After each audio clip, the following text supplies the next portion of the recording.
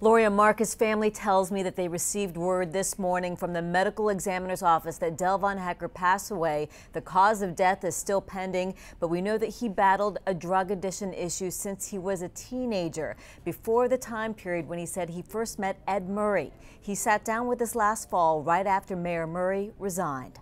It was very painful for me to be sitting, you know, thinking that at least half the people thought that I just was making this story up about this man and that I was an ex crackhead and this and that, and I'm just out to get money and this and that. No, it's about my healing. For Delvon Heckard, going public was about setting the record straight and righting a wrong he'd been living with his entire life.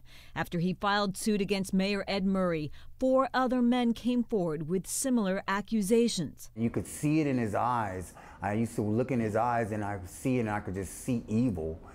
But I was so trapped in that world to where it didn't, I mean, I just let it go on. That world may have caught up to him early Friday morning. Valley Regional Fire confirms they responded to an overdose call at this motel in Auburn this morning, the same motel where a fire broke out several hours later. Firefighters say they know of no connection between the two incidents.